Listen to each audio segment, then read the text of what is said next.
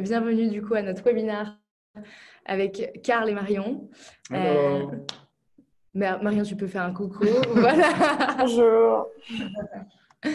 Super. Euh, je serais peut-être parfois un peu comme ça, c'est que j'admets les dernières personnes euh, au webinaire avant de lancer. donc déjà pour vous souhaiter la, la, bienvenue à tout le monde. pour celles et ceux qui ne connaissent pas encore l'outil, donc nous sommes sur Zoom.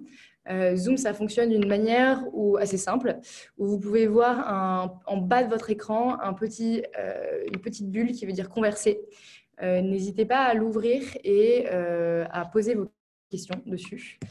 pour ça rendra la... Merci Anna, exactement. Anna vient de vous l'indiquer. vous pouvez poser vos questions ici. Plus on rend ça interactif et plus c'est sympa. donc, que ce soit au fur et à mesure de la présentation, euh, enfin, de nos échanges avec Carl et Marion. Euh, et puis après, un moment de, questions-réponses qui vous sera, qui vous sera accordé euh, pour, bah, voilà, poser toutes vos questions à, à, Carl et Marion. On va vous les présenter, vous inquiétez pas. voilà pour l'outil. et voilà pour la conférence. ok, bah, du coup, je pense qu'on peut lancer. Je pense qu'on se lancer. On a, on a du monde. donc, du coup, aujourd'hui, on, fait un, c'est un webinaire sur euh, Tech et Sens, euh, comment donner du sens à mon code euh, au sein de la Summer School Dada. Donc peut-être pour vous donner un petit peu de contexte, dans quelle dynamique se situe ce webinaire vous présenter la Summer School. donc la Summer School, c'est une initiative qui a lancé à Tech School, l'école que je dirige. Donc moi, c'est Chloé Marie. Je suis la directrice et CEO Dada. la Summer School Dada, en fait, c'est pendant les deux mois d'été, on considère que finalement, on ne va pas tellement que travailler sur son bronzage, mais un peu sur sa culture tech aussi. Euh, parce que bah, on, a eu des, euh, on a eu une période un petit peu éprouvante, en tout cas, pour euh, réfléchir sur aujourd'hui comment notre monde évolue et comment on interagit les uns avec les autres. Et donc, on s'est dit que, bah, en fait, voilà, post-Covid, on allait lancer une summer school en ligne pour se poser des questions sur l'influence des technologies et sur notre société d'aujourd'hui et des sociétés des sujets de société qu'on voit euh, énormément revenir, euh, la question des minorités, la question du sens, la question de l'impact, de la santé, de l'écologie, etc. Donc, nous sommes sur la cinquième semaine de cette euh, Summer School. le thème est Tech Essence. Donc, pourquoi Tech Essence? Alors, nous, ADA, on a, on a l'idée qu'il faut ouvrir, notre mission à ADA, c'est de rendre la tech plus accessible. Euh, aujourd'hui, donc je ne sais pas si les personnes présentes le, savent, euh, la tech, donc les développeurs et les développeuses, qui sont les, premiers créateurs et créatrices des, euh, outils technologiques, bah, sont en grande majorité des hommes blancs, à 90% à peu près. Donc notre rôle à ADA, en fait, c'est d'ouvrir ce secteur qui recrute énormément et de montrer qu'il peut être accessible à d'autres personnes qui ne se reconnaissent pas dans les stéréotypes. Et donc, du coup, bah, ce, sujet euh, du sens, ça nous, ça nous, paraissait être vraiment euh, en lien avec notre mission. Euh, bah, pourquoi? Parce que relier la tech et le sens, c'est relier la tech à son impact sur la société, à, qui ça sert, à quoi ça sert. Et plus on ouvrira la tech à, des grands, à de nouvelles personnes, et plus bah, on fera une tech qui ressemble aux besoins de notre société d'aujourd'hui. Donc, aujourd'hui, on a une tech qui peut avoir euh, une image parfois assez froide, euh, scientifique, solitaire, inaccessible. On a des questions d'un côté qui disent que euh, la tech peut, peut avoir des côtés un petit peu déshumanisants, en fait, avec les écrans, la distance. on peut travailler à distance, vous l'avez vu pendant le confinement, parfois un peu même égocentrique, le transhumanisme, les réseaux sociaux, etc. Bref, on peut, on peut donner à la tech des, des, sujets assez, qui vont assez, on va dire, alarmants pour, pour, notre société. Et puis de l'autre côté aussi, bah, la tech résout des problèmes de la vie courante l'accès à l'information, euh, avoir euh, euh, plus de connaissances sur nos aliments, on connaît Yuka, booker nos vacances, peut-être que vous êtes là-dedans en ce moment, que ce soit les transports, que ce soit les hôtels, beaucoup plus facilement. donc on a un côté qui peut être vu comme un petit peu alarmant la tech, et puis de l'autre côté, un côté un côté bah, qui, peut nous sauver, nous sauver, sauver le monde et changer le monde. Et du coup, voilà, ces contradictions aujourd'hui autour, de, la tech et de son sens, et notamment celui qu'on veut lui donner en tant que, dev, en tant que technicien, bah, nous amène à faire cet événement aujourd'hui. Euh, donc, donner du sens à la texte, je pense que ça sera un peu le, fil rouge de notre euh, événement. Ça veut dire se poser la question de à quoi ça sert, à quoi sert mon code, à qui sert mon code euh, et dans quel collectif ça s'intègre, dans quel projet d'entreprise ou dans quelle équipe ça s'intègre. Euh, donc voilà, donc nous on est persuadés à ADA que quand on réancrera la tech euh, dans la société, dans son impact, dans le collaboratif, on la permettra d'être plus utile au plus grand nombre et de l'ouvrir à un plus grand nombre aussi. Voilà, ça c'est pour ADA. Et pourquoi on fait ça euh, Pour ceux qui nous suivent déjà, vous le savez probablement déjà, on rabâche un peu ces sujets. Donc aujourd'hui, notre but, c'était d'inviter une entreprise partenaire, Trainline, une des premières entreprises à nous avoir suivis, bah, pour elle aussi euh, pour qu'elles aussi prennent la parole sur ces sujets euh, et montrent que bah, en fait, ces sujets de tech essence, bah, elles sont aussi portés par des recruteurs, elles sont aussi portées par des collectifs et une entreprise. Euh, au sein d'une entreprise. Et donc, voilà, c'est la raison pour laquelle je voulais donner la parole à Marion et à Karl. et voilà, et nous, ça nous a paru être une très, une, invitation très logique euh, parce que au-delà que euh, Trainline soit un partenaire euh, de Dada et de, de, la première heure, c'est aussi une entreprise avec une culture produit orientée sur les utilisateurs et les utilisatrices très très forte. donc pour ceux qui ne connaissent pas Trainline, c'est une plateforme de réservation de trains euh, donc du coup le concurrent de oui SNCF mais à d'ordre européen. Euh, si vous allez sur Trainline, vous verrez qu'il y a besoin de quatre fois moins de clics euh, pour, je ne sais pas si c'est le chiffre que vous que vous donnez, mais c'est le chiffre que ça, le chiffre dont j'ai l'impression de, l'avoir. Mais voilà, quatre fois moins de clics, c'est dit pour réserver votre, votre billet de train. Et en fait, comment ça s'est fait? C'est parce que Trainline, en, en se développant, c'est toujours poser la question de ces utilisateurs et utilisatrices à qui, à quoi ils servaient. Et euh, c'est ce qui fait la grande réussite du coup de Trainline. Donc voilà pourquoi c'était important de les, euh, inviter. Euh, Trainline est au demeurant une, entreprise très engagée aussi pour la mixité et la diversité au sein de la tech. Et donc je laisse la parole à nos invités après avoir parlé. Peut-être donc du coup je vous dis Carl et Marion. Je laisse Carl et Marion se présenter. voilà peut-être vos vos noms, vos prénoms, votre âge, parcours dans des grandes lignes, votre poste aujourd'hui, à quoi ça consiste pour les, pour les novices, euh, et un petit peu plus voilà, de, détails sur vous, quel, quel, type de personne vous êtes? ça marche, Marion, tu peux commencer? Allez, j'y vais. Et eh ben, du coup, je suis Marion Mère, j'ai 27 ans et je travaille chez Trendline comme développeuse back-end depuis un peu plus de 4 ans. Euh, j'ai fait un DUT informatique après un bac S et ensuite j'étais à Polytech à Lille et la spécialité c'était informatique et statistique, donc moitié-moitié. Et j'ai fait mon stage de fin d'études chez Captain Train qui a changé de nom et qui s'appelle maintenant Trainline. Donc euh, c'est tout mon parcours professionnel pour l'instant. Ok.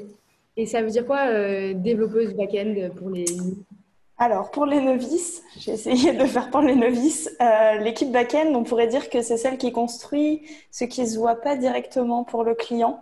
Mais sans ça, il n'y a pas de réservation de billets de train, il n'y a pas de recherche, il n'y a rien. Euh, mon équipe, plus particulièrement, elle s'occupe euh, des transporteurs français et belges, enfin Belgique, Pays-Bas et Luxembourg. Et donc, on essaye de faire une interface unifiée entre ce qui est visible au client, qui est plutôt le front-end, et les connexions au transporteur qui est le back-end. Ok. Donc toi, tu t'occupes de savoir euh, nos connexions euh, pour aller en Suisse, euh, le nombre de, connexions ou pas qu'on doit faire. Pas pour aller en Suisse, justement, mais plutôt Belgique, Pays-Bas, Luxembourg et la France. En Belgique. Ça y va un petit peu aussi. Par connexion, ce qu'elle veut dire, c'est le lien entre la plateforme Trainline mm. et les transporteurs. En fait, ce qu'il faut savoir, c'est que Trainline, on est, on est euh, connecté directement au catalogue des billets euh, de, de, tous les transporteurs. C'est 260 mm. transporteurs dans le monde. Donc voilà, c'est vraiment pas dans un autre catalogue, c'est pas un sous-ensemble de billets. On a accès exactement à ce que les autres ont. Et c'est Marion et son équipe qui font ça. Ok, ça marche. Euh, et du, coup, pour te présenter, pour revenir un peu à ton parcours, tu dirais que euh, toi, jeune étudiant, euh, comment comment t'étais Est-ce que tu es une une petite geekette des premiers jours ou Pas du tout une petite geekette des premiers jours. J'avais même pas prévu d'étudier l'informatique en post-bac. J'ai commencé en chimie, mais j'ai changé. Étudiante, je disais, j'aurais dit que j'étais studieuse parce que j'avais pas forcément la confiance en moi nécessaire pour me dire je vais à un examen sans trop avoir étudié. Donc en général, je refaisais tous les TP, tous les exercices pour être sûre que c'est bon, je maîtrisais le sujet. Et en général, je le maîtrisais, mais ça me donnait un peu la confiance. Donc ouais, studieuse, ça serait un peu le mot qui me définit. Ok, ça marche. Et dans la vie, euh, qu'est-ce que tu aimes faire sinon? Eh ben, j'aime bien en ce moment euh, lire pas mal euh, de livres et écouter plein de podcasts parce que j'ai l'impression que ça me permet de connaître plein de gens différents et d'être une meilleure personne. Et j'aime bien le yoga aussi parce que ça me permet de prendre un peu de recul, chose qui n'est pas évidente à faire euh, dans la semaine quand on est le nez dans le guidon. Ok. C'est quoi les, tes recommandations de podcast? Voilà. Il y en a mille. J'aime beaucoup les podcasts engagés, donc si vous voulez écouter La Poudre et Les couilles sur la table et d'autres d'autres réjouissances d'Arte Radio, euh, je vous encourage à aller voir. Oui, c'est mon préféré aussi. Euh, ok, merci Marion. Est-ce que Carl, du coup, tu veux faire le même petit exercice Cool, ça marche. Euh, donc, je m'appelle Carl Anderson, j'ai 35 ans. donc, moi, j'ai étudié à l'Epitech, donc j'ai fait 5 ans, 5 ans d'études spécialisées dans le dev. Et moi, par contre, j'étais carrément un geek de la première heure. j'ai commencé, à, commencé à coder très tôt pense que j'ai monté mon premier ordinateur, je devais avoir 12-13 ans avec mon père, je me rappelle encore. Euh, et puis assez, très rapidement, j'ai commencé à faire des sites web. Et puis ensuite, après, euh, à faire des trucs pas très légaux.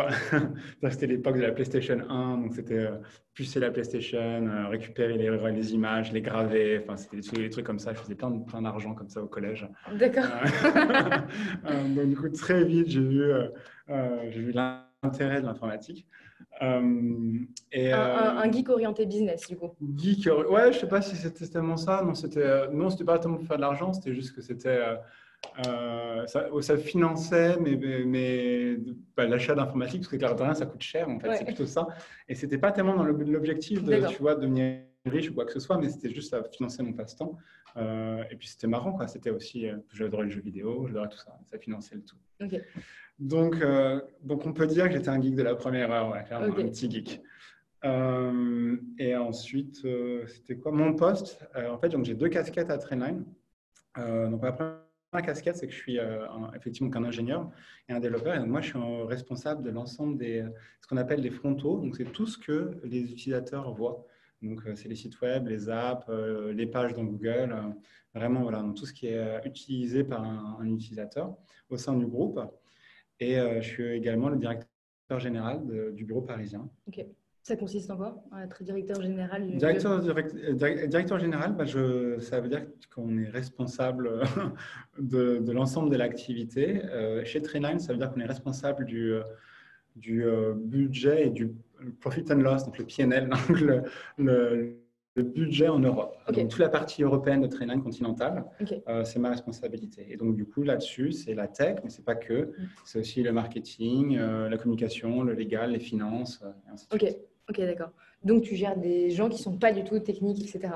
oui, exactement. Tu pilotes. Il faut apprendre, c'est ça, je ne gère pas directement. Mm, oui. Les gens qui font ça, c'est une équipe hein, mm. qui m'aide à faire tout ça. Je ne fais pas ça tout seul. Mais, mais effectivement, c'est poser les bonnes questions, c'est savoir lire un budget, c'est savoir je sais pas, c'est ça, c'est lire et comprendre et poser les bonnes questions. Ok, ça marche. Euh, et dans la vie, qu'est-ce que tu aimes faire euh, à part lire des budgets? J'avais dit que j'aimais ça. euh, dans la vie, qu'est-ce que j'aime faire euh, bah, Beaucoup de sport. pareil, je, je, lis beaucoup, pas mal de podcasts en ce moment aussi. mais je pense que ouais, clairement, le sport, c'est vraiment le, truc après le code qui, était, qui sont mes deux passions dans la vie. Ok. C'est la tech et le sport. Ok. Tu fais quoi comme sport? Euh, Du basket, majoritairement. Ok, ça marche. Euh, alors, Saïda, attends. Saïda, je me permets de te mettre en muet parce que tu nous as volé Marion. Euh, ça marche. du coup, ce que je vous propose ensuite, on en connaît un petit peu plus sur vous. L'idée, ce serait que vous fassiez le jeu un petit peu nous nous définir un peu le, votre, votre métier en fait. Euh, donc je ne sais pas qui veut, vous, qui veut commencer, mais si on devait un peu définir le métier de dev euh, et en faire euh, voilà, une, l'analogie d'une pratique ou du, d'une discipline, selon vous, qu'est-ce que, qu'est-ce que ça serait? Tu veux commencer Marion? Non, c'est ta question, vas-y. On a frisé par contre. Mais, euh, Ah, c'est ah, bon, ça revient. Euh, moi, ce qui me vient à l'esprit le plus rapidement dans le métier du dev, vraiment, c'est la créativité. Je pense qu'il y a vraiment deux aspects, euh, je trouve, dans le développement, c'est créativité et puis travail en équipe. Et quand on parle de casser des codes, il y a vraiment cette image du nerd tout seul, blanc, masculin, avec les cheveux longs dans sa cave, exactement, ou alors c'est un écran comme ça avec euh, la grosse musique là et, flippé et, euh, anti euh, anti gouvernement, je sais pas quoi là, enfin bref voilà. Donc ça c'est vraiment le code que je veux casser parce que je pense que c'est c'est vraiment ça, c'est qu'en fait voilà, surtout quand on démarre un projet, qu'on est sur cette page blanche, qu'on a cette idée dans la tête, on ne sait pas encore trop comment on va le faire, et puis bah, on commence à, on commence à, dessiner les contours de cette idée et, c'est un processus très itératif. On, a une première idée, on fait un truc, ça nous donne une autre idée, on repasse, on repasse, on repasse, on repasse. Et, euh, tout ça, bah, on ne le fait pas tout seul. On réutilise des frameworks et des librairies qui existent déjà. On travaille avec d'autres personnes euh, qui peuvent être bah, d'autres devs, ça peut être des designers, ça peut être des gens du produit, du marketing, de la com, pour justement euh, à la fin créer un truc gigantesque euh, comme Tree9 par exemple, ou, des sites web euh, euh, bien plus grands. Et en fait, c'est marrant parce qu'après, on y repense il y a deux ans, c'est dingue parce que c'était une petite page blanche. et enfin voilà, c'est en empilant des briques comme ça qu'on construit des châteaux. Et on ne le voit pas tellement en fait. Et on vient avec, vers vous avec un problème, avec une, une demande. Tu vois, tu as une page blanche devant toi et on, j'imagine que tu as bien des consignes, enfin, vers quoi aller. c'est quoi On t'a dit, il faut que tu construises le, tu vois, quel est, quel est, quel est le problème qu'on nous donne? Et ça, en fait, justement, ce que je dis, c'est vraiment un travail en équipe. Donc, mm. je pense que c'est pas quelque chose de, de quelqu'un qui arrive avec une spec toute faite comme les années 60. Il faut construire tout ça mm. et on s'intègre. Euh, la manière dont on fait du développement maintenant, c'est vraiment un processus euh, collaboratif. Donc, on va venir, euh, en général, c'est partir d'un problème utilisateur. Mm. Donc, tu vois, typiquement, c'est, bah voilà, en Italie, il y a plusieurs transporteurs. c'est super chiant en tant que l'utilisateur d'aller chez Trinitalia, d'aller chez Italo, de mettre sa carte bleue euh, partout, comparer les deux prix, faire OK, en fait, c'est ça qui est mieux. Mm. Donc, euh, on part du de ça, c'est la problématique. Et de là, c'est bon, bah, comment on résout ça? Comment est-ce qu'on va euh, mélanger le plus simplement possible bah, tous ces résultats que l'utilisateur voit simplement quand c'est l'un ou l'autre que ce soit dans sa langue, que ce soit avec ses codes, avec son expérience utilisateur? Et donc ça, dès le départ, autour de cette page blanche, on va le faire en équipe. Et ça va être bah, justement avec des gens du produit qui vont analyser. Ça va être des gens des, commerciaux qui vont dire bon, bah, il faut aller en Italie, c'est super mm. intéressant, il y a une vraie problématique, on a une vraie plus-value là-bas. Le produit va dire bah, comment est-ce qu'on va stratégiquement intégrer ça et comment euh, les autres font et qu'est-ce qui manque en fait et euh, comment adresser ça. Et puis nous, à la tech, on va dire, bah, qu'est-ce qui est possible de faire mm.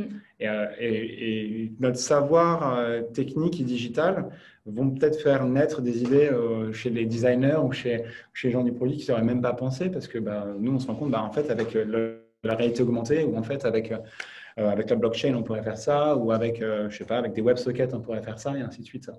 Et ça, ça je pense que c'est vraiment c'est ça la tech en fait. La tech, c'est pas juste du dev, c'est cette, équipe, cette créativité qui fait que vraiment on, digitalise et on, améliore en fait le quotidien. Donc ça peut que ce soit environnemental, sociétal ou énergétique, je sais pas, peu importe, mais, c'est la tech, c'est au service de quelque chose. Mm. Et dans ce cadre-là, tu tu passes combien, de, vous direz, euh, en tant que dev, ça prend combien de temps de votre, combien de temps de votre semaine, combien de pourcentage de votre semaine? De véritablement coder, euh, de coder cette solution C'est plus pour toi, ça, Marianne. euh, effectivement, c'est une bonne question et il n'y a pas de vraie réponse. C'est souvent, ça dépend. C'est quelque chose entre, je ne sais pas, 0 et 6 heures à peu près dans une journée euh, classique. Euh, il y a beaucoup de choses à faire autre que juste écrire des lignes. une grande partie du travail, et enfin tout le travail qu'on écrit est relu par quelqu'un d'autre avant d'être ensuite approuvé. Donc ça veut dire qu'en général, on relit autant qu'on écrit si c'est assez équilibré. Et ensuite, il y a toute la partie euh, organisation de l'équipe, euh, gestion du planning, euh, suivi des incidents qu'il peut y avoir tous les matins pour voir s'il n'y a pas quelque chose qui a été cassé soit par nous, soit par les personnes externes, donc en général les transporteurs. Et ensuite, il faut faire un suivi de ça, donc ouvrir des tickets quand il y a un problème, suivre, donner les détails et s'assurer que c'est corrigé ou corrigé de notre côté quand c'est cassé. Oui, donc c'est un travail qui globalement est hyper ancré dans à la fois l'entreprise, un quotidien, une techniques et, puis un travail collectif. Quoi. Ok.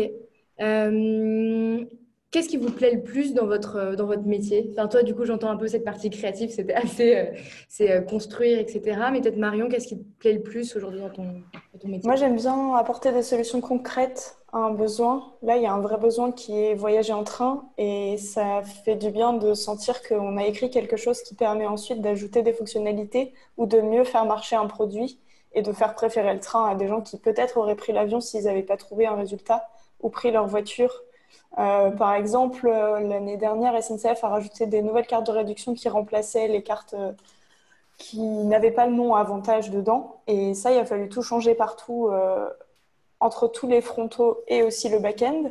Et donc, il a fallu ajouter toutes ces nouvelles cartes, s'assurer que les tarifs étaient bien appliqués aux bons voyageurs et faire cohabiter les cartes anciennes et nouvelles. Et donc ça, quand on le voit et qu'on se dit ah oui bon c'est moi qui l'ai écrit et grâce à moi ça marche quand même, ça fait du bien euh, à la fin de la journée. C'est pas toujours concret dans ce qu'on fait dans le back-end, mais pour le coup il y a des fois où ça se voit vraiment bien. Ouais.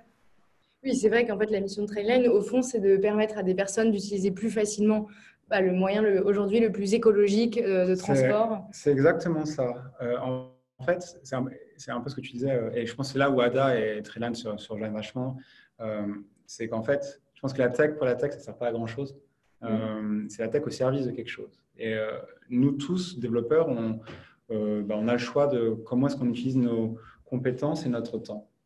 Et, si on regarde aujourd'hui les, les, les, plus grands pollueurs, les plus grandes industries qui polluent, donc je crois que le numéro un, je me semble que c'est l'énergie, le numéro deux, c'est donc les industries, et le numéro trois, c'est le transport, en fait. Et si tu regardes dans le transport, tout le monde tape sur l'avion tout le temps, mais en fait, c'est que 25% euh, de l'empreinte énergétique dans les transports. Et 75% de ça, c'est la voiture. Et en fait, dans les 75% de la voiture, la moitié, c'est des gens seuls en voiture en ville. Là, tu te dis, mais en fait, euh, c'est aberrant, quoi. Et euh, donc, clairement, notre mission, c'est de rendre le, déplacement en train le plus simple possible. Un peu comme un. Je veux dire, maintenant, quand on doit se déplacer à l'autre bout de Paris, on ne pense pas trop, on prend Uber et c'est réglé, c'est super simple. Bah, l'idée, ce serait que ce soit aussi simple de prendre le train, mm. n'importe où dans le monde, en fait. Et ce n'est pas du tout le cas, parce qu'en euh, général, les transporteurs, c'est euh, historiquement euh, des compagnies nationales qui ont chacun, leur culture. C'est-à-dire que si on, parle de Prems, un italien, va te regarder avec des grands yeux ronds. Pareil, un Allemand, si tu parles de, de booker, enfin de mettre une option sur un ticket, il va te regarder un grand yeux rond. Et les Anglais, ils ont des, concepts d'open return. Enfin, il n'y a pas deux trucs similaires dans deux pays. Et donc tout ça, c'est des systèmes d'information, c'est très complexe. C'est en général pas localisé avec des trucs euh, très compliqués à chaque fois. Donc vraiment, notre mission, c'est de rendre ça aussi simple possible pour que, euh, ben, plutôt que plutôt que prendre sa voiture pour faire un Lille-Paris, euh, ben, en fait, on va prendre plutôt euh, Trainline, deux, deux, clics comme tu disais. Mhm. tu, prends le, tu, prends, tu prends ton billet et en fait, l'impact carbone, ben, il est quatre fois moindre. c'est ça la mission. Ok, très chouette. Avant de passer à, la suite, vous diriez, euh, et notamment je pense à toi Karl, euh, au-delà du code, apprendre à coder, ça t'a servi à, quoi dans ta carrière tu vois, À quoi d'autre que, euh, que coder? Est-ce que tu vois, quand on apprend notamment dans une formation de dev, est-ce qu'on apprend juste, juste à coder tu vois, Est-ce que c'est finalement toute ta vie tu coderas ou, alors oui, toute ma vie je coderai.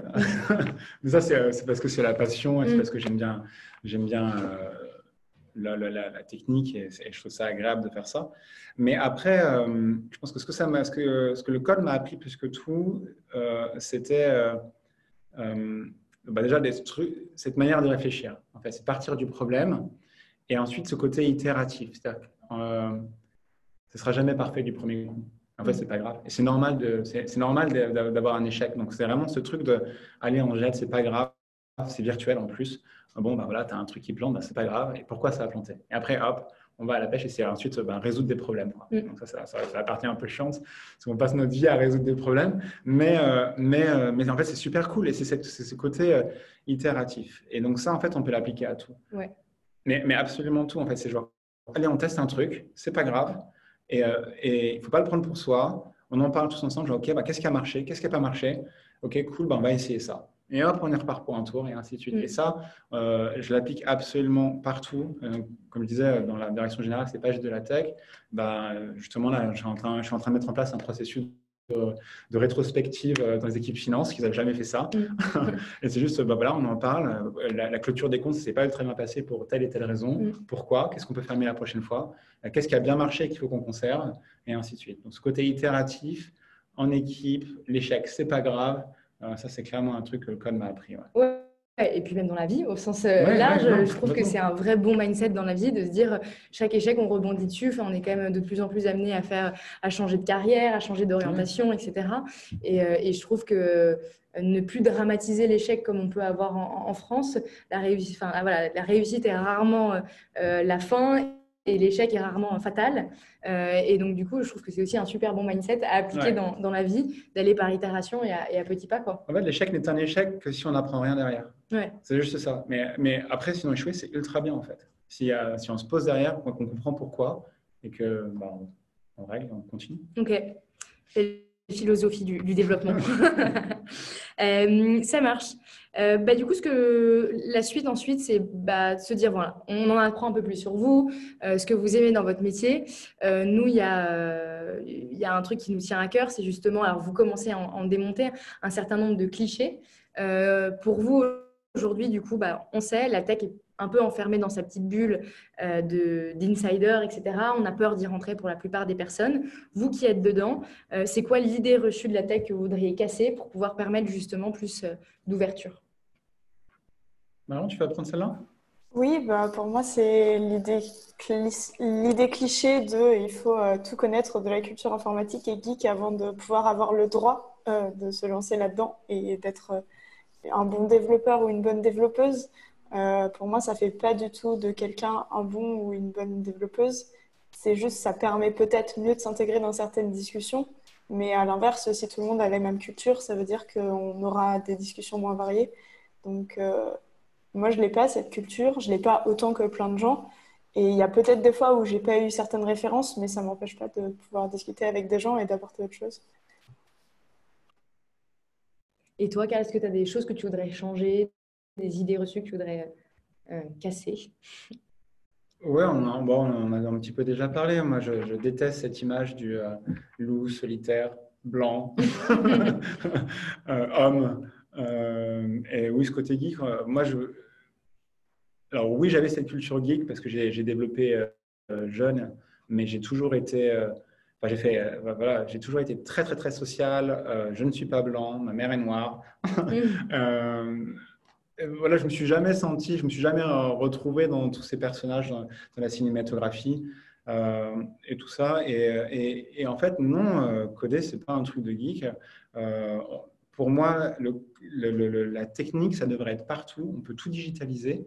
Euh, et avec un, enfin, pour un, pour, pour un, pour un impact positif. Quoi. Mm. Euh, et ça, je trouve ça dommage de cantonner ça, de réduire ça, parce que c'est la technique, parce que c'est les trucs, ah bah non, c'est un truc de garçon, ah bah non, c'est un truc de geekos. En fait, non, on pourrait, on pourrait appliquer à l'éducation, on peut l'appliquer à la santé, on peut l'appliquer aux communications, au voyage, à absolument tout. Et euh, pour moi, c'est un truc qui devrait être appris à l'école, en fait. Mm. De la même manière qu'on a des maths, de la physique ou de la philo, on devrait, on devrait faire du code. Ok, ouais. Euh, ok.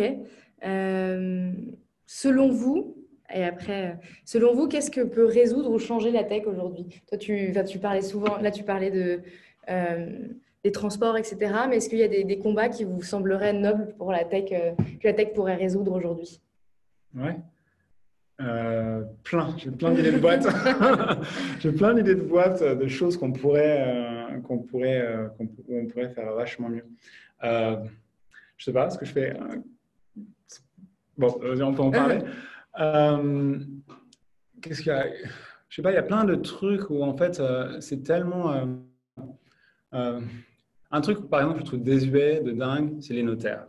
Moi, je trouve ça dingue tout ce papier, on arrive dans ces, dans ces offices notariales et là, il y a des armoires de papier et on est obligé d'être là en physique et de copier et de signer 50 pages comme ça. En fait, euh, il y a... Donc là, ce qui existe aujourd'hui, c'est l'Internet euh, de l'information. Donc, c'est-à-dire que quand on s'envoie un, fichier d'une personne à, une autre personne, on fait une copie de ce fichier.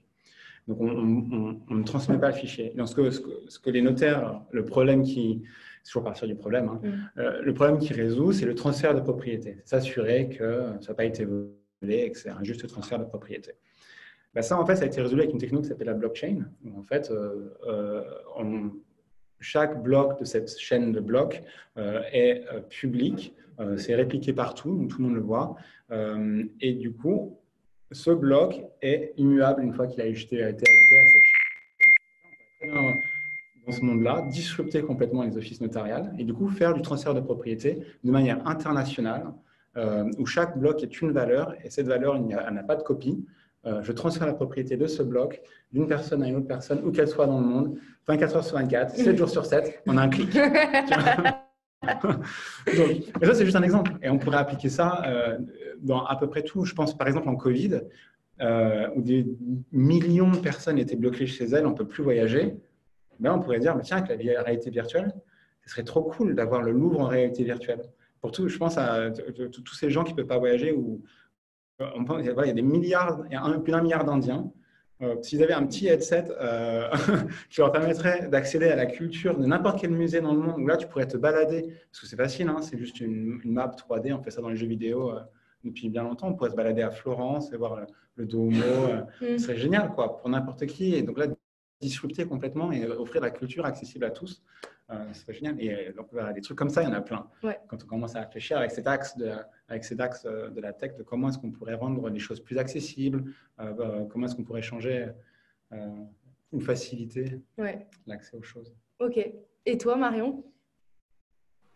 Oui, comme Karl, il y a tellement de responsabilités, enfin tellement de choses que la tech pourrait faire et tellement de responsabilités qu'on mettrait ensuite dedans sur comment on a choisi d'implémenter ça, euh, quelle question, à quelles questions ça répond. Euh, je n'ai pas d'exemple euh, auquel je pensais là tout de suite. Mais, Ok, ça marche. ensuite, on, bah, on, va passer à la dernière partie, puis on passera aux questions. Je vois qu'il y en a quand même pas mal.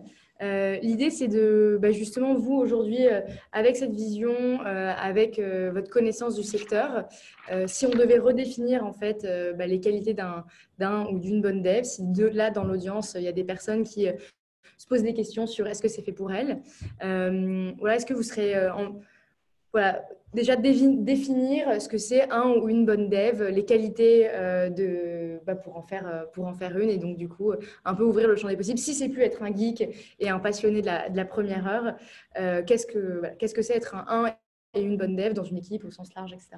Ouais. Bah, moi, je pense que la qualité première, c'est vraiment la curiosité. comment ça marche? Mm. C'est le premier truc. C'est regarder un truc, genre comment ça marche? Et puis hop, on regarde sur Google, on lit le man, on lit euh, euh, la doc technique, on fait ah ok en fait c'est comme ça, donc ah c'est pas mal, euh, on télécharge la techno et puis après on essaye. Donc ça c'est pour moi, pour moi le premier truc c'est la curiosité et le second truc c'est ce côté itératif, c'est faut pas se prendre la tête, faut faire et être capable de, de prendre du recul et d'être capable d'accepter la critique et de faire ah ouais ok tu as raison j'aurais pu faire ça mieux de cette manière, c'était pas mal, vas-y bah, on va essayer mm. et puis on voilà. Et donc, si on a les deux, de comment ça marche, du coup, on, apprend non-stop, on a plein d'idées et on, voit, on, découvre plein de technos et plein de possibles. Et puis ensuite, après, bah, si on a l'autre, ben, on les applique et puis on apprend. Et là, on a un espèce de cercle vertueux qui va aller tout seul. Et là, on va devenir le meilleur dev. Tout le monde peut être dev, en fait. Ok. et toi, Marion? Moi, la première chose à laquelle je pense, c'est de vraiment bien cerner le problème. Euh, on a tendance à vite s'éparpiller, pas forcément les gens qui sont dev, mais euh, j'ai l'impression qu'en étant dev, on cerne un peu mieux quelle est la question à laquelle on essaie de répondre. Et c'est important de la garder toujours en ligne de mire et pas se perdre ou juste euh, suivre des petites étapes qui ont été écrites dans un ticket Jira. C'est important d'avoir toujours la question globale. pour ça, c'est quand même important d'avoir un sens logique et une rigueur parce que sinon on peut vite partir dans tous les sens. Euh, pour avoir du code robuste, il faut quand même euh, oui, avoir de la logique, de la rigueur. Et euh, on ne peut pas faire ça sans un certain esprit d'équipe. typiquement, on a eu un gros bug il n'y a pas très très longtemps et on s'est rendu compte que une personne toute seule n'allait pas forcément trouver immédiatement le problème. Et juste le fait de le poster dans un canal de discussion publique, à trois personnes qui voient l'information, on arrive tout de suite à trouver quel est le commit qui a cassé quelque chose, euh, pourquoi on l'a pas vu plus tôt, comment on répare ou comment on mitige un peu le risque. Donc euh, l'esprit d'équipe, il est indispensable. C'est pas possible d'être le loup-garou dans sa cave, en tout cas pas pour créer un site euh, comme Trendline. Ça marchera pas. Ouais, j'aimais bien l'idée un peu de se dire que c'est important de comprendre ce que tu fais, dans quel but tu le fais. C'est important, comme disait Carl aussi, d'accepter la critique. sans ça, c'est pas possible d'évoluer. C'est important d'apprendre à relire le code des gens et aussi d'accepter les critiques dans les relectures inverses. Et la fin, ça serait aussi quand tu es bien à l'aise de partager ça avec d'autres gens, parce que le but, c'est pas de garder que pour soi. Euh, donc ça, c'est un peu la suite. Ouais. Moi, j'ai l'impression qu'il y a une forte culture de la transmission dans quand même le, monde du, dev, euh, que ce soit les meet-up, etc., du, transfert d'informations. Euh, il y a toute cette vague, je trouve, de euh, justement parce qu'il y a des échecs et c'est itératif, etc., ben en fait, l'apprentissage, il est continu et donc, du coup, le transfert d'informations, il est aussi beaucoup plus généralisé. Tout le monde peut, être, euh, peut donner des conseils, tout le monde peut euh, devenir, transmettre de l'information aux autres. J'ai l'impression qu'il y a vraiment cette culture d'apprentissage et de transmission aussi qui est hyper importante pour être un ou une bonne dev. Complètement. Parce que la techno, ça avance tellement vite, ça change tellement, qu'en fait, euh, si vous vous dites, euh, je vais faire ça toute ma vie, euh, c'est raté. pas de chance. tout, je veux dire, il y a un framework, il y a un nouveau framework JavaScript toutes les deux minutes, quasiment. Les, les, technos de base de données, ça, ça, évolue à une vitesse pas possible entre les bases de données relationnelles standards ou du NoSQL ou euh, enfin, tout, la blockchain, c'est complètement nouveau. C'est venu, euh, c'est venu comme un pavé dans la mare euh, il y a 3-4 ans maintenant. La réalité virtuelle, c'est pareil. La mobilité, je veux dire, avant 2007, on n'avait pas de smartphone. Mm. Et, voilà, donc tout, tout, ça, et en fait, ça change non-stop, non-stop, non-stop. Et en fait, dans ma carrière, je pense que j'ai, je ne sais pas combien de fois j'ai changé de techno ou de, ou, de langage, ou, même juste de monde, avec des paradigmes différents entre la base de données et le code. Euh, donc, euh, donc, ça, c'est vraiment important. Tu as, complètement raison. L'apprentissage continu, c'est la clé. Ok. Et hum, donc ça, c'est au, niveau individuel. Qu'est-ce qui, selon vous, euh, fait une bonne équipe de dev? Enfin, Toi, Marion, par exemple, qu'est-ce que tu as vu quand ton équipe fonctionnait bien? Qu'est-ce qui étaient les qualités en fait, d'une bonne équipe, d'une équipe qui fonctionne bien technique? Bah, le plus important, oui, c'est les objectifs, savoir qu'ils sont définis et que tout le monde tend vers le même objectif. Euh, j'ai été impressionnée aussi par euh, les standards de qualité et de tests. Euh, c'est très agréable de coder quand on a un filet qui est des tests bien écrits et quand on en rajoute régulièrement. Donc pour les débutants, c'est quand même très important. la communication fluide, elle est indispensable parce que sans ça, il y a des informations qui se perdent, il y a des choses qui sont pas bien dites et du coup, si les personnes n'ont pas l'intuition ou connaissent pas bien la personne en face, elles vont pas comprendre le message qui se cachait derrière. Donc c'est vraiment très important de bien formuler ce qu'on veut dire ou ce qu'on veut écrire pour être sûr que c'est reçu comme il faut par la personne en face. Et le confinement, il nous a montré aussi que les échanges informels apportaient beaucoup. Euh, savoir dans quel état d'esprit est quelqu'un, tu peux pas forcément le savoir à un stand-up de 15 minutes ou dans des échanges Slack euh, très techniques. Et juste en avoir parlé un petit peu, ça redonne un côté humain à tous ses collègues et c'est agréable. Et j'aime bien rappeler aussi qu'il n'y a pas de questions bêtes. Il y a beaucoup de gens qui ont peut-être un peu de retenue sur certaines choses euh, pour poser une question qu'ils estimeraient comme Ah, il y a déjà quelqu'un qui a répondu quelque part. Et mon cheval de bataille en ce moment, c'est un peu de dire aux gens de ne pas m'écrire en message privé quand c'est des questions techniques parce qu'il y a souvent d'autres personnes qui doivent se poser la même question et c'est important que la réponse soit quelque part publique. Non seulement parce que certains de mes collègues qui connaissent mieux ou qui connaissent euh, d'autres choses peuvent apporter des détails en plus, mais aussi toutes les personnes qui lisent éviteront de reposer la question la prochaine fois, normalement. Ou de le faire parce qu'elles ne se sont pas posé la question. C'était ma question aussi. Euh, tu parlais de communication. Euh, enfin, comment, comment vous communiquez? Donc, ce que j'entends, c'est qu'il y a des, communications qui sont plus, on va dire, euh, techniques et, efficaces, orientées productivité. vous communiquez par quoi? C'est Slack C'est c'est majoritairement Slack. Ensuite, on a quand même des réunions de planning où là, on a mis un nouveau stand-up euh, trois fois par semaine pour parler un petit peu parce que sinon, des fois, on se parle pas de vive voix euh, hors euh, autres réunions sur d'autres sujets. Donc, on a quand même des réunions parfois pour parler et autrement, c'est Slack. Oui. Du coup, Carl, c'est quoi ce qui fait selon toi une, équipe de dev qui, fonctionne et les qualités d'une bonne équipe technique? Bah, je pense que Marion a fait un bon, bon éventail. Là, c'était une très bonne, très bonne réponse. Euh, Non, après, comme toute équipe, c'est la communication qui est la clé. Et vraiment, ce, pour moi, le plus important, c'est l'amélioration continue. Donc, c'est vraiment, je pense qu'il y a un principe que je garde dans les principes agiles, c'est la rétrospective. C'est à la fin de, la, fin de la, semaine, se mettre tous ensemble dans un environnement euh, safe. C'est pas, euh, c'est pas le but n'est pas de blâmer, c'est vraiment de dire bon bah voilà ça c'était cool, ça j'ai trouvé ça pas cool les gars, est-ce qu'on pourrait faire ça? Si, ainsi de suite. Et puis et puis itérer quoi, s'y tenir, on fait des actions, on essaye après. Et euh, et, et c'est pas grave parce qu'après même si l'équipe est pas terrible au début, eh ben, naturellement on va s'améliorer jusqu'à devenir une super équipe tous ensemble parce qu'on saura travailler ensemble. On aura testé plein de trucs et on sait pourquoi ça, ça marche pas. et on sait pourquoi ça, ça marche et on sait pourquoi on est là, quoi. Et on apprend à se connaître les uns les autres et puis après, naturellement, ça va venir. La rétrospective, c'est une fois par semaine? Ouais. Alors ça dépend, euh, ça dépend euh, des durées de sprint, mm. euh, quand, quand, on travaille en agile. Mais l'idée, c'est à la fin d'un sprint, on a délivré quelque chose, on a, on a sorti un composant, enfin de la valeur pour un utilisateur, bah, c'est de voir, ok, ce processus, comment il s'est passé? Est-ce que c'était mm. bien? Est-ce que c'était pas bien? Qu'est-ce qui était, enfin, tu vois. Ok. Voilà. Ouais, donc ça reste des humains. Euh. ouais, c'est ça, c'est dingue. Hein. c'est incroyable. On ne croirait pas comme ça.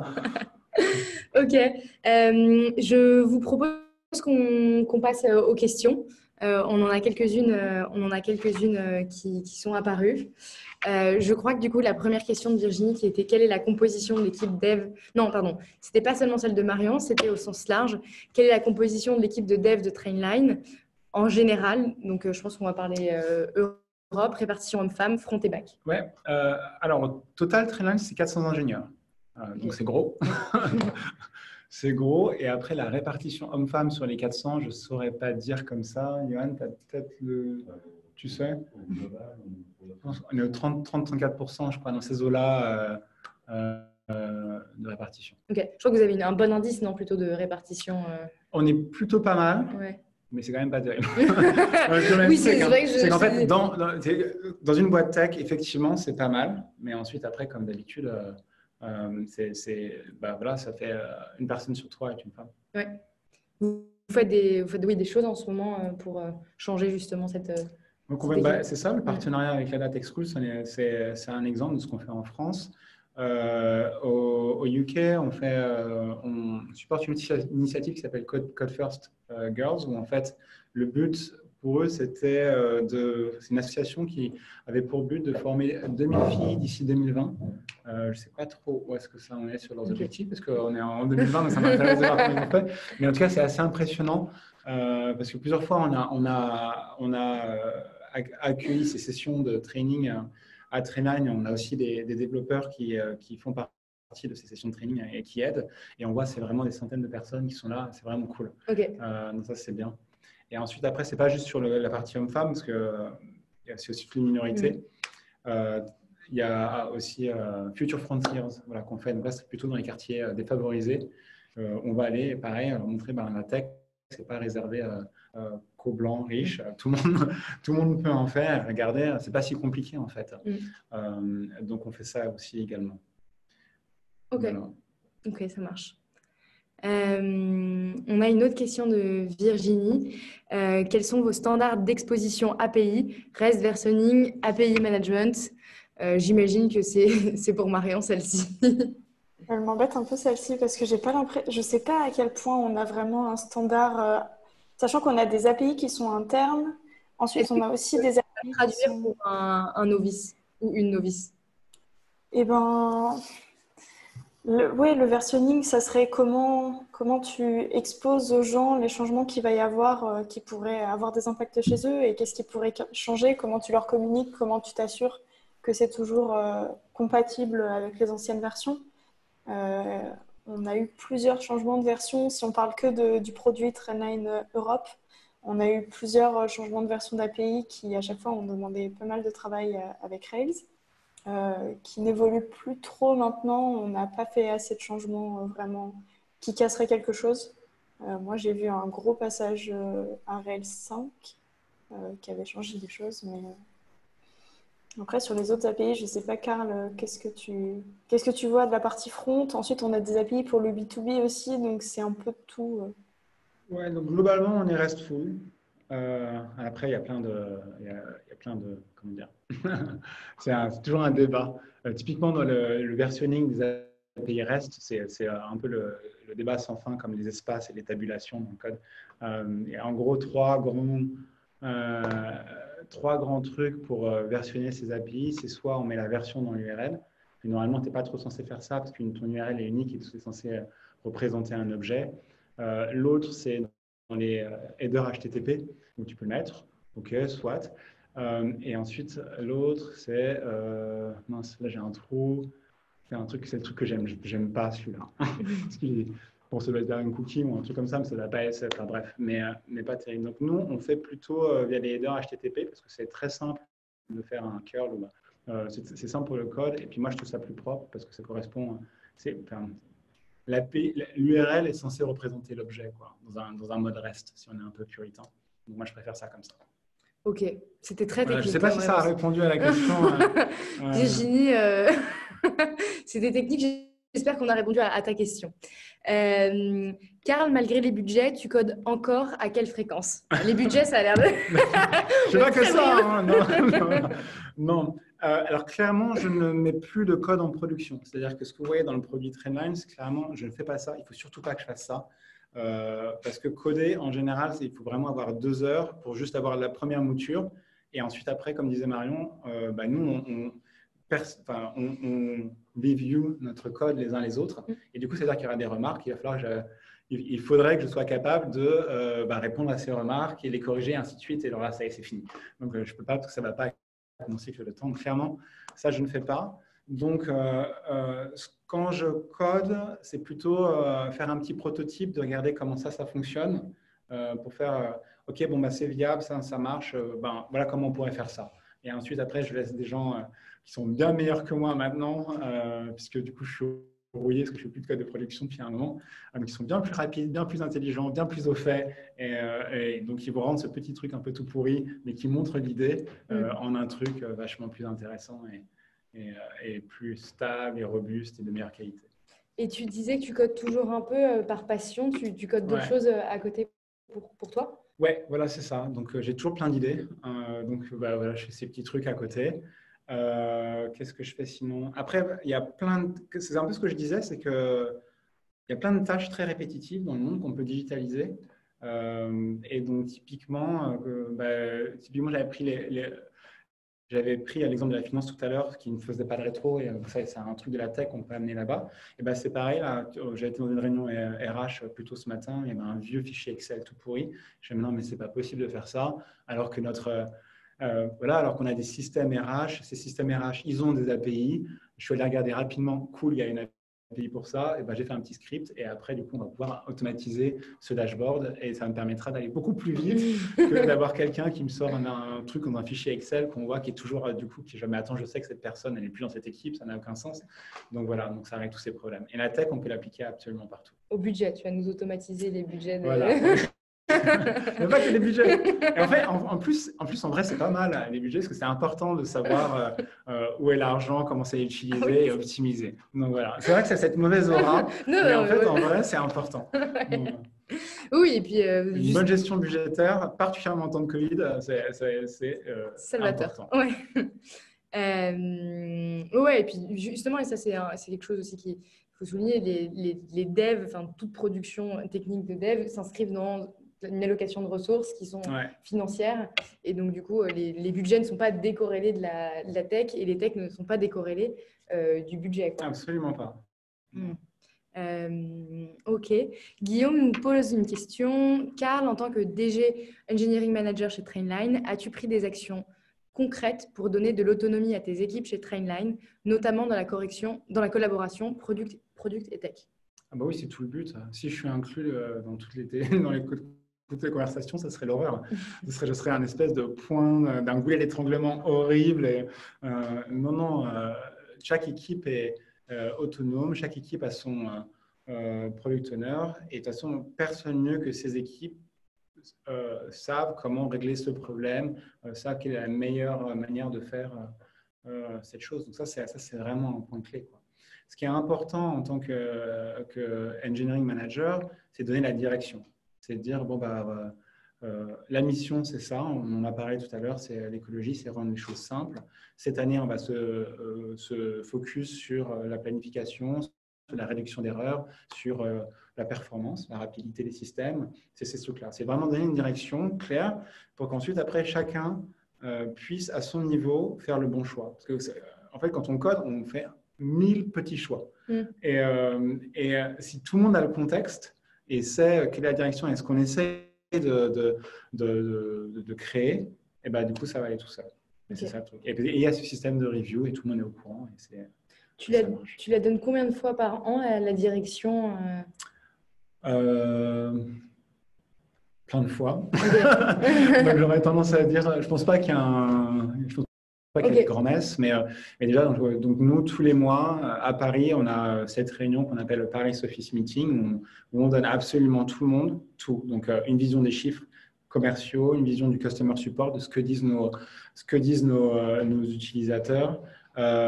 moi, la tech, bah, ce sur quoi on travaille. Et donc, ça, c'est bénéfique pour les gens du marketing, mm. c'est bénéfique pour absolument tout le monde, en fait. Mm. Donc, tout le monde est au courant de ce qui se passe. Ensuite, après, euh, il y a euh, tous les euh, trimestres, on va dire, ce qu'on appelle les town halls, où en fait, on se retrouve vraiment tous les développeurs web, tous les développeurs mobiles, tous les développeurs de, connexion, tous ensemble dans une salle, et on peut parler de, bah, ce qui va, ce qui ne va pas sur son quotidien. Et le but, c'est tous ensemble de dire, bon, bah, OK, on va essayer de changer ça. Mm. C'est aussi un, donc, donc là, là, je parlais d'un exemple où c'était les développeurs qui ont monté quelque chose, mais aussi c'est aussi des endroits où euh, nous, managers, on peut dire, euh, bah, moi, je pense qu'il faut vraiment améliorer là-dessus. Mm. Et, et, et, c'est dans les deux sens, quoi. On, on, entend, du coup, évidemment, ça, ça va me donner mes priorités. C'est mm. ça qu'il faut que je fixe en, en priorité pour que ce soit, pour que l'équipe fonctionne mieux. Et puis, du coup, le trimestre d'après, on va dire, bah, voilà, vous avez entendu, voilà comment on a fait ça. Euh, la suite, je pense qu'il faut faire ça. Et maintenant, Comment ça se passe vous euh, Dites-moi. Et puis ainsi de suite. Pareil, toujours cette, cette idée d'amélioration continue. Ok. Qu'est-ce qui drive euh, les grandes directions? C'est justement euh, les utilisateurs, enfin ce qu'on vous remonte enfin, du customer support, etc. C'est qu'est-ce qui drive l'évolution du produit Trainline? Bah c'est ça, hein, c'est toujours le produit au service des voyageurs. Mm. Donc ça va être selon, comme d'hab, on, va sortir un produit on va partir de voilà, on va partir d'un problème, euh, on va formuler une hypothèse, on va le sortir. Et puis on va faire bon, comment ça marche? Là, on a des dashboards, on regarde, on, teste une solution A versus une solution B. Ah ben c'est la B qui marche mieux. Ok, parfois euh, l'évolution qu'on pensait être une euh, une évolution positive, en fait, bah, ça marche moins bien, c'est moins utilisé. On se dit, ah bon, bah, ok, bah, pourquoi? Et on voit notre copie et puis on va aller, on va aller améliorer ça. Et en fait, de ça, on va, tirer des, des pans euh, dire, bon, ok, ça c'est un truc qui marche, c'est un truc qui marche pas, et puis il faut, s'accentuer là-dessus. Vraiment, euh, data-driven, c'est testé, encore une fois, c'est normal d'échouer. On teste, on voit, on, analyse, et puis après, euh, on itère comme ça.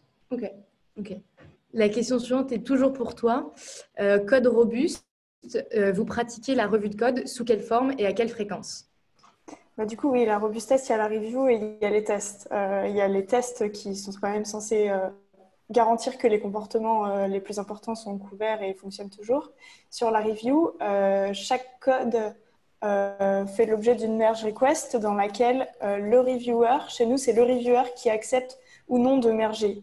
c'est pas le codeur qui va mettre son code ensuite accepter son code dans la code base globale. Tout le code qu'on écrit est relu.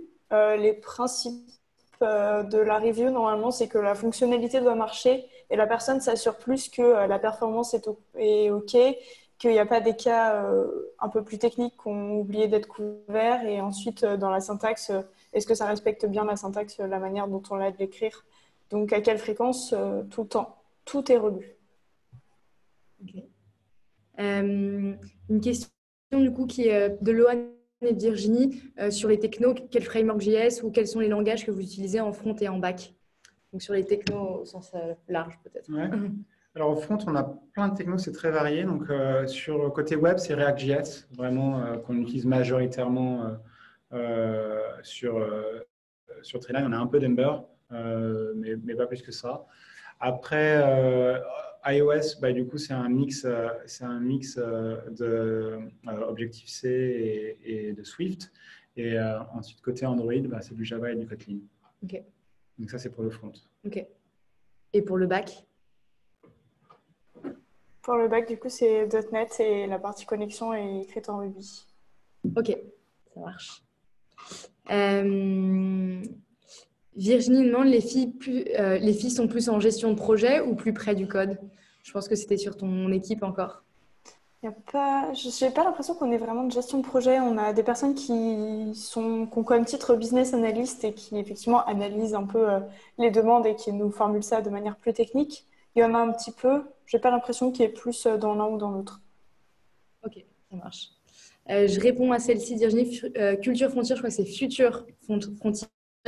Et je crois que c'est qu'en en Angleterre. C'est qu'en Angleterre, oui, effectivement. Euh, alors, il reste deux questions. Il nous reste encore quelques trois minutes. On va prendre celle de Virginie et de Aurore. Euh, donc, du coup, je vais prendre celle de Virginie. Je vais faire une sélection entre les deux. On la première. Vos devs, sont, internes chez Trainline ou vous faites appel à de la prestation? Euh, C'est un mix. C'est un mix. Donc, c'est majoritairement des, des, CDI en interne parce que ça prend vachement de temps de faire les super équipes, ça prend vachement de temps d'apprendre euh, d'apprendre la tech et, le domaine métier aussi. Donc, ce serait, ça serait euh, dommage de pas garder ce savoir en interne. Euh, néanmoins, on a recours à la prestation parce qu'on n'arrive pas à recruter assez vite comme on veut. Donc, c'est un, outil qui est, qui est très pratique pour scale up rapidement. parce qu'on est déjà tous à fond sur un truc et il faut qu'on regarde ça, où il y en a une mm. demande qui arrive et du coup, bah, d'accord, on va, compléter avec des consultants en plus. Ok. Euh, et la question d'Aurore. Euh, Marion, dans vos équipes, avez-vous des profils de dev autodidactes Et si oui, quels sont les principaux manquements dont peuvent, ils peuvent souffrir par rapport à des devs qui ont étudié en école ou en organisme de formation? J'ai pas eu l'impression qu'on ait beaucoup d'autodidactes, ou alors euh, quand on avait des autodidactes, de toute façon c'était des gens seniors et du coup j'ai pas vu spécialement de manquement. Le truc le plus qui me viendrait à l'esprit, ça serait peut-être des parties un peu mathématiques ou euh, des calculs de complexité, des choses où finalement tu fais des choses sans vraiment connaître derrière euh, l'impact que ça peut avoir si ton site fait x100 d'un coup et que soit ta base de données suit pas, soit les performances vraiment ne suivent pas. Est-ce que Karl, toi, tu as des un peu plus sur les devs autodidactes? Non, je suis assez d'accord avec toi. Mais ça me, ça peu importe en fait, parce qu'encore une fois, euh, ce que je fais aujourd'hui, je ne l'ai pas appris à l'école en réalité. Euh, ce qu'on apprend, euh, ce apprend dans la tech, c'est apprendre la tech. Donc c'est apprendre à lire, c'est apprendre à chercher, c'est apprendre la logique de coder et, de faire tout ça. Donc en fait, peu importe si tu l'as. Après, je suis d'accord, il, il, y a des principes de base dans la computer science qui sont effectivement les complexités et et les trucs où, par exemple, si tu fais une animation et que tu veux faire une accélération, bah, c'est cool de savoir faire ton intégrale.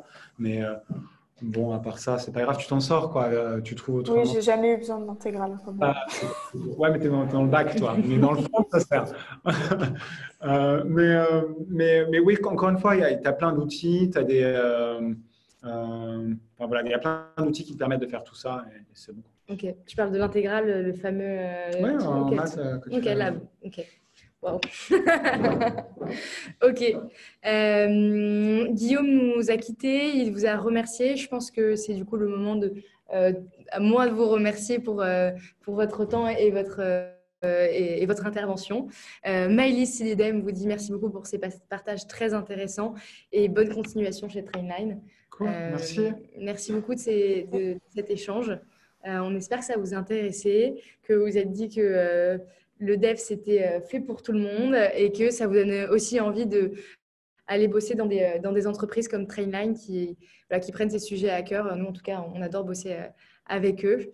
et, voilà, vive, vive longue vie à la tech et au sens. et, et, créons cette, cette, culture tech ensemble, cette nouvelle culture tech. En tout cas, je pense qu'on a, on a des raisons de le faire. Merci à toi aussi, Chloé, de nous avoir donné la parole. C'était un bon contexte. Ouais. Merci. Merci tout le monde de votre euh, attention. Euh, on espère que ça vous a plu. La vidéo sera euh, sur YouTube d'ici demain, normalement.